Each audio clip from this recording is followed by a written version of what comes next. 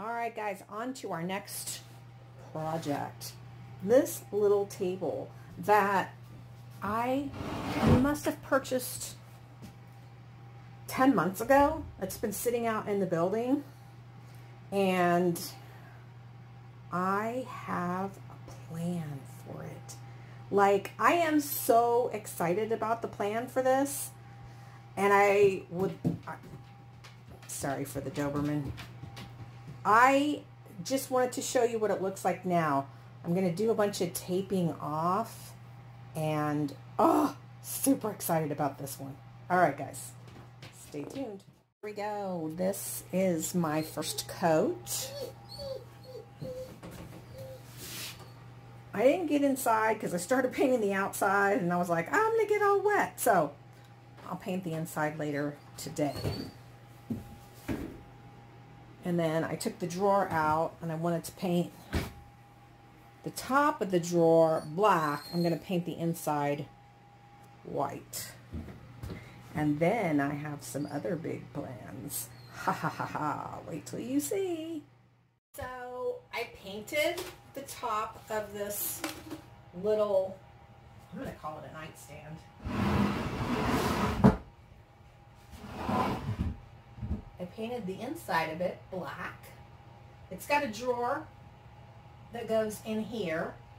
And I'm going to be doing a lot to that drawer.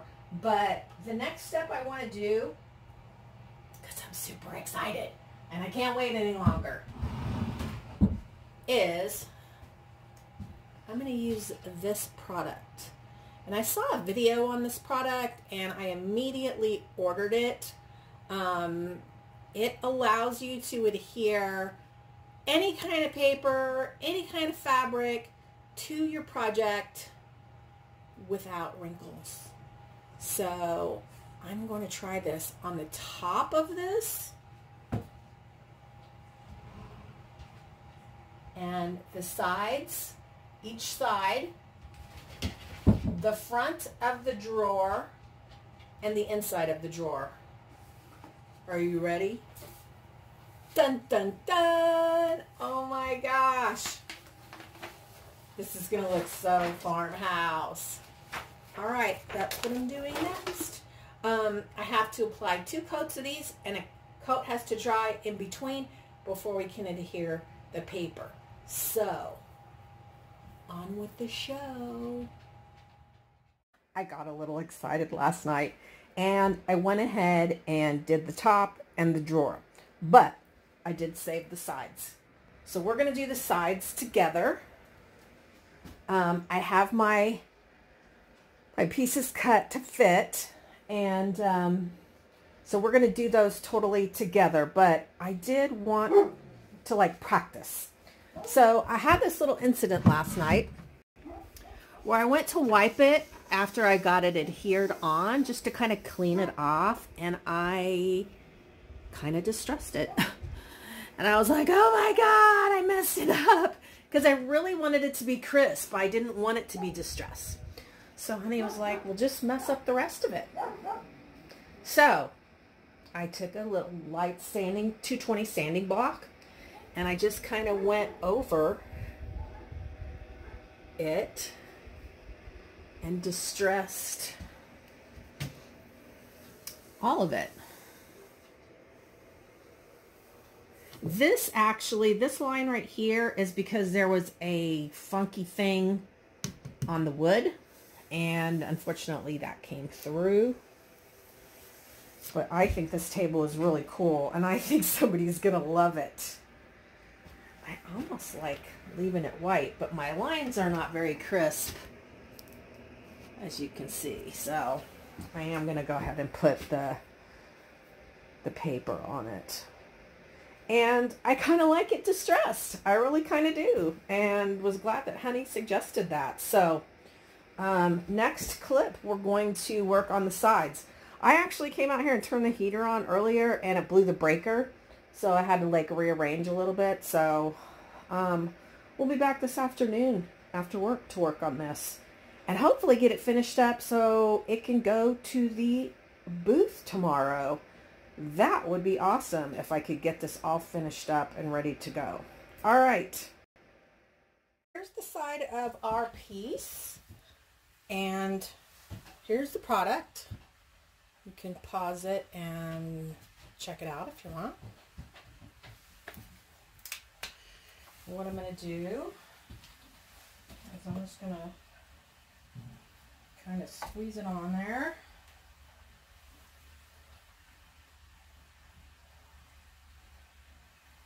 And then I'm just using a, a foam brush that I got at um, Home Depot to smooth this out.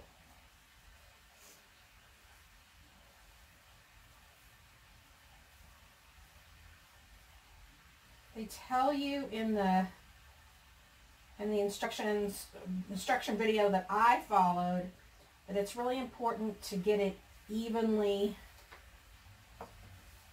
coated.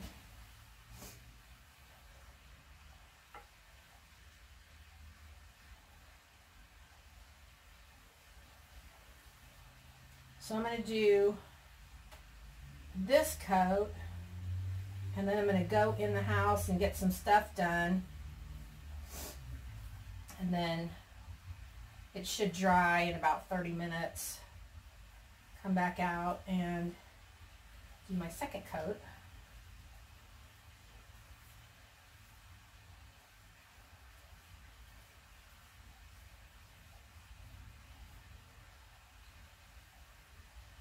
You want to be sure to get it all the way up in the edges there because we want our paper to stick everywhere.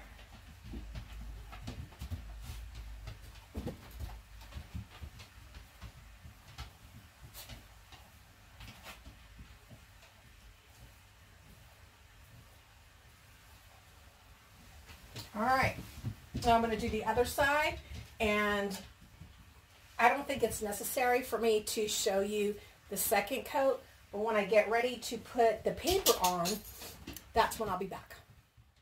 I got my paper cut to go in here, and I have my parchment paper, not wax paper, parchment paper. Be sure you got it right. I have my iron set on medium heat, and here we go.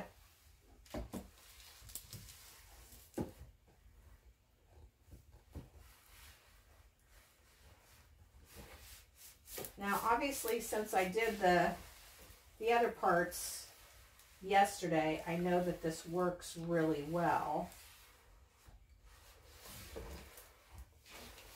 The only bad thing is, is that um, it's hard to get these corners.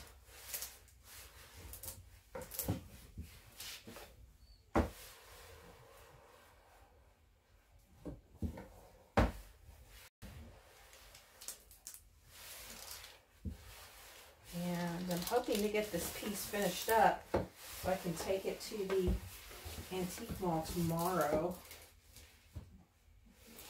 I'm just going to probably wax where it's painted, but I got to clear coat the where I um, where I'm putting the paper on. I've got to put a clear coat over that. So I'm really going to have to hustle.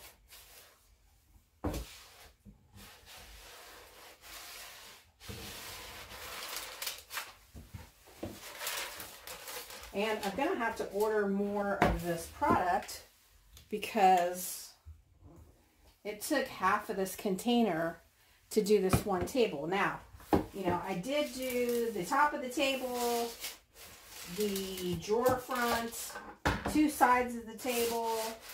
You know, I think most people just do like the drawer fronts. They don't do as much as I'm doing So, see. Yeah, that's all adhered on there. And it's hot.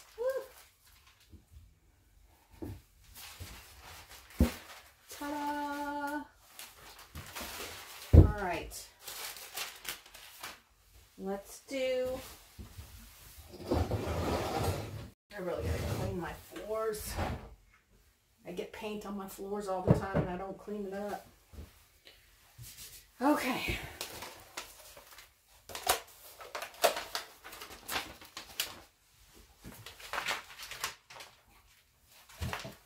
This is gonna be so cute.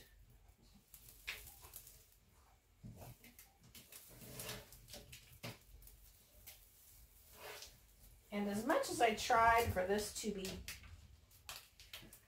perfect, it's not, it's not um, a hundred percent perfect. But that's just the way it goes.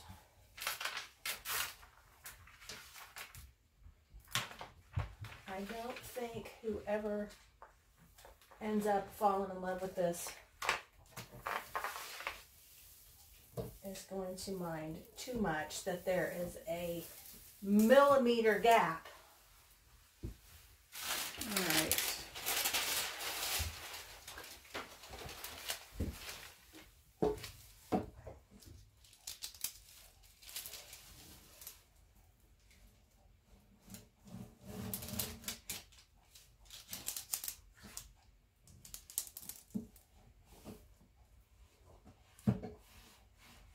I am loving this product so much.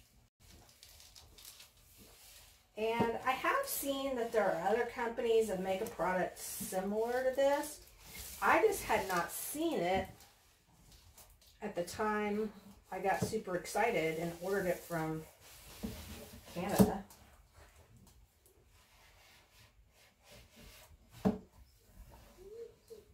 So I'm just telling you guys what I ordered so you, because you will want to know what it is.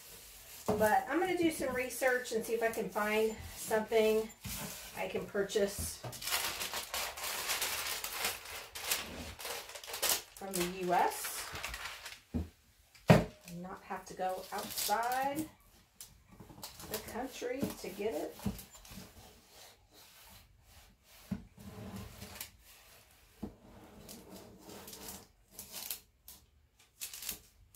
Just think this is so adorable. And I've had this piece for so long. And I literally, like a couple of weeks ago, was like, oh, I should just donate that back. I'm never going to do anything with that little yellow table. just kidding.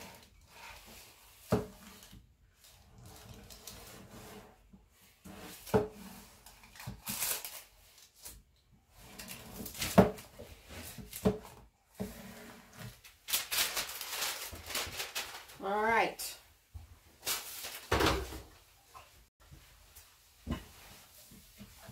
Yep. It's on there and it's hot. Now, this is what I did last night was I just took this 220 sanding block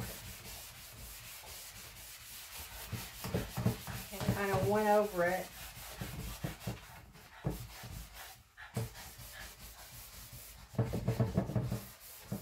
to give it that distressed look.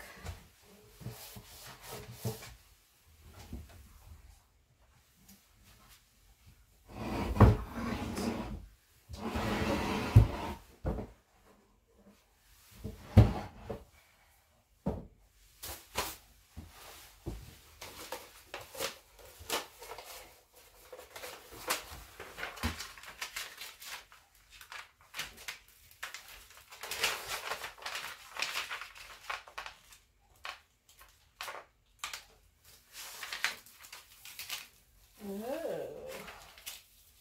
I'm going to have to cut a little bit off of this. Just a little bit. So I think you've seen enough and I'll be back with the finished product. Okay guys, I did a clear coat on this with Sweet Pickins top coat and I am totally loving this. Ran out of time for this video. I had to get this project done, so I hope you love it like I do. First time doing this, there's definitely a learning curve and I will be doing more. I hope you enjoyed it. Stay tuned for more.